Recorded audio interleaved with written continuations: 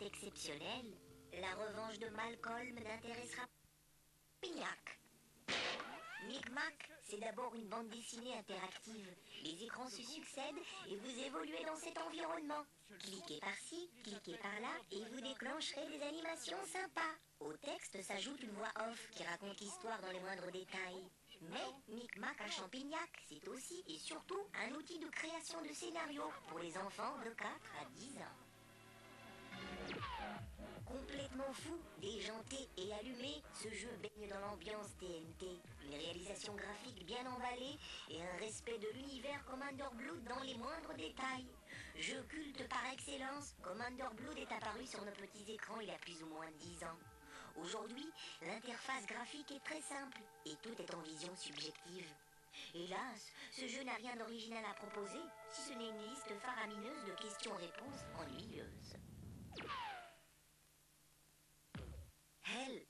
Un jeu fabuleux, spécialement dédié aux téléspectateurs qui voudraient devenir graphistes. En dehors de son esprit ludique, le Luna Park d'aujourd'hui est plutôt cinématographique. Les créateurs du jeu ont engagé des stars du cinéma. Visez-moi ça. Denise Hooper, Chris Jones, Stephanie Seymour et Ricky Rabbit. Du beau monde qui abonde. Ajoutez à cela une bonne centaine de créatures bizarroïdes pour vous accompagner dans cette descente. En enfer. Welche Richtung sie eigentlich fahren muss. Ich glaube, jetzt hat sie es wieder. Jetzt ist sie, glaube ich, wieder in der richtigen, in der richtigen äh, Richtung unterwegs. Ja, es ist nicht so einfach, Street Racer. Da habe ich auch lange für gebraucht, bis ich, das, bis ich mir entschieden hatte, dass wir es überhaupt spielen. Robbie versteht das Spiel überhaupt nicht. Er hat ja zwei linke Füße. Das ist ja auch zu schwierig. Aber konzentrieren wir uns wieder auf Vanessa und auf Stefan. Immer noch liegt der Stefan in Führung und die Vanessa dahinter. Ah, er ist ziemlich weit in Führung.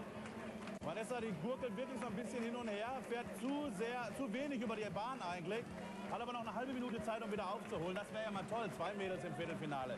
Im Moment sieht es allerdings nicht so aus, muss ich zugeben. Der Stefan fährt ziemlich stark und er springt und fliegt und hüpft. Er ist gar nicht nötig. Ja, und er ist sogar schon in der letzten Runde, aber es sind auch nur noch 18 Sekunden zu fahren. Ich glaube nicht, dass er es schafft. Jetzt ist also die Besma dran. 11.300. Im letzten Moment hat er die Punkte gemacht, der Sascha. Ja, Besma wirft ein. Das ist der Slack und rechts mit den äh, Schweinchen und den Menschen, das ist der Stefan. Es steht 2 zu 0 für ihn, aber der Stefan, ah, schade. Wieder Slack, der alte, der alte Nachthase unterwegs, marschiert auf den Korb vom Stefan und macht einen Punkt noch nicht. Zugegeben das 4 zu 0. Kurze Information noch für den Stefan, vielleicht eine kleine Motivationsspritze.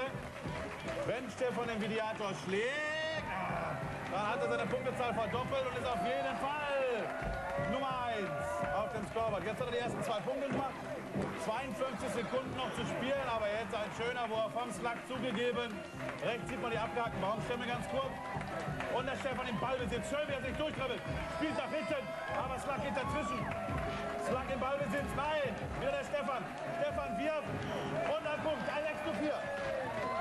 Und er hat noch 32 Sekunden Zeit. Wahnsinn, was für eine Dramatik. Kann er es schaffen? Schafft er es, einen Bundesstand zu verdoppeln? Sluggy macht schon wieder einen, einen Punkt. Schade eigentlich. 8 zu 4 für Slug den Schatten.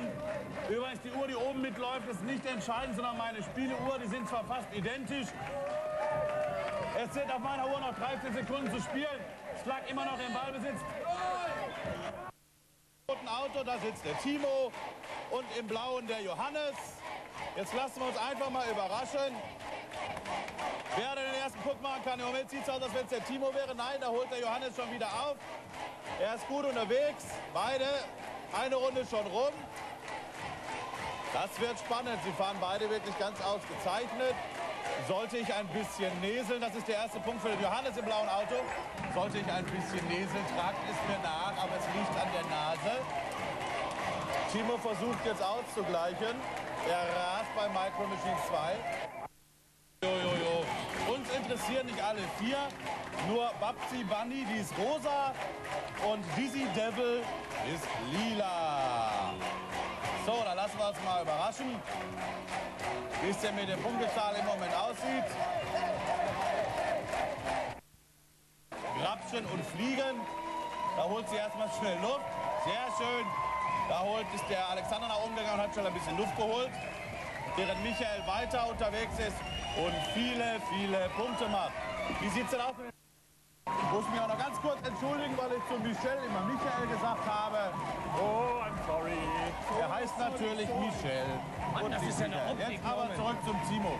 Wie sagst du normalerweise immer eine? Sensationelle Grafik. Ganz genau. Bei Viewpoint. Konzentrieren wir uns auf den Punktestand. 4.850 hat er. Links unten eingeblendet. 15 Sekunden noch Zeit. Jetzt hat er sein Schutzschild ausgepackt. Jetzt kann ihm nichts passieren. Jetzt muss er wieder aufpassen. Aufgepasst. Über 6.000, noch 5 Sekunden für den Tankbombermate. Seht ihr das mit dieser Irokesenschnitt in der Mitte? Wir spielen Bo 3, will heißen Best of 3. Schauen wir mal, wer zuerst zwei Ründchen gewinnt. Timo ist auf jeden Fall schon auf dem Scoreboard, er ist im Moment Sechster. Wenn er seinen Punktestand verdoppeln könnte, hm, wäre nicht schlecht. So, der Mad Master Lee hat sich schon ein Reittier besorgt. Das ist wahrscheinlich ein Eskimo-Reittier oben auf dem Eis. Schön unterwegs und oh, da hat der Mad Master Lee sich fast selbst an einen Weg. Vorsichtig! Ah, nein, Timo! Ah. Schade, ah, noch ist nichts, das war nur das Reittier erstmal. Noch ist nichts passiert.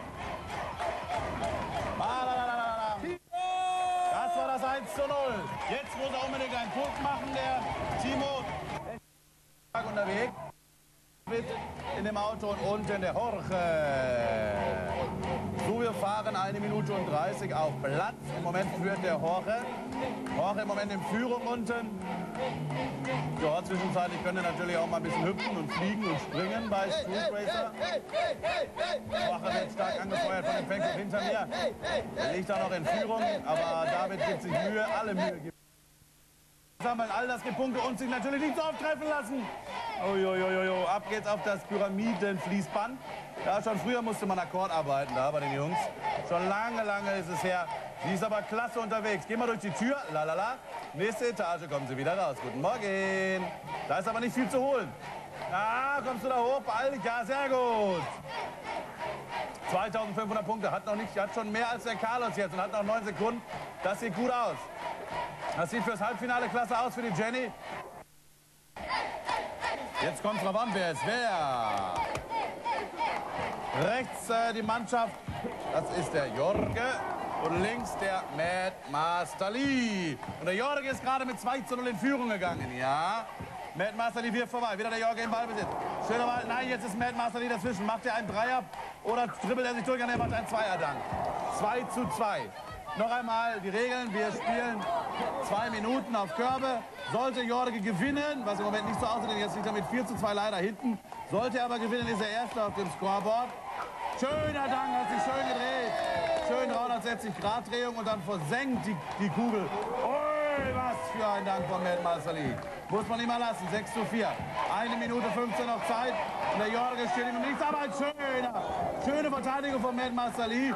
Geht dazwischen und geht mit vier Punkten in Führung. Das heißt, das ist schon ein kleiner Vorsprung. Jetzt muss Jorge sich anstrengen. Verkürzt auf 8 zu 6. Jorge macht einen Zweier. Er muss jetzt dringend versuchen, mal einen Dreier an den Tag zu legen. Denn es steht 10 zu 8 für den Videator für Master Lee. 12 vor 8, der ist ganz klein in Führung. Jetzt müsste Jorge wirklich die Dreier auspacken. Nein, er geht immer wieder rein in den Kreis. Er sollte mal von außen werfen. Macht er nicht. Und jetzt geht er dazwischen, der Master Lee. Schöner Rebound, macht einen Konter, spielt ihn direkt nach vorne, hinterm Rücken rum. Sehr schön gespielt. Jetzt aber Jorge auch dazwischen. Noch einmal Master Lee und er macht einen Überflieger. Er fliegt rechts auf die Ersatzbank. Nicht gepfiffen. Die letzten 10 Sekunden. Er Zweier, kann nochmal auf 12 zu 10 verkürzen. Aber es sieht eng aus. Denn jetzt wir dann, was für ein Hyper-Hyper-Dank. Unglaublich. Die letzte Sekunde. Jorge, vierter der Stefan, fünfter der Steven, sechster der Nico und gerade verloren personnage. Ce mode de visualisation permet de laisser une place importante au décor limpide. Mais par rapport à l'image, il y a de peu désavantages, une sorte de décalage dans le paysage. Sans conclusion hâtive.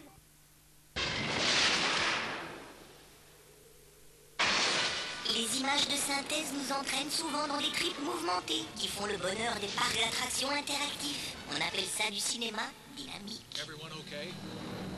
Oh, what is that sound? Euh, mais c'est qui celui-là? Il semblerait bien que Jurassic Park n'ait pas encore fini de nous faire des petits. Allez coucher, sale bête. Et en plus, ils sont nombreux. Hé, toi là-bas, tu crois